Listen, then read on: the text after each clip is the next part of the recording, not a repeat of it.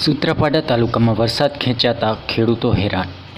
સૂત્રાપાડા તાલુકામાં શરૂઆતથી વરસાદ ઓછો થતાં ધરતીપુત્ર ચિંતામાં હતા. જ્યારે વરસાદ ખેંચાતા મોલાત મુરઝાઈ રહી છે અને ખેડૂતો તેને બચાવવા માટે હેરાન થઈ રહ્યા છે. હાલ વરસાદને બદલે પડી રહેલા આકરા તાપથી રોજીરોજ પાકનું જોખમ વધી રહ્યું છે. રિપોર્ટર રામસિંહ મોરી.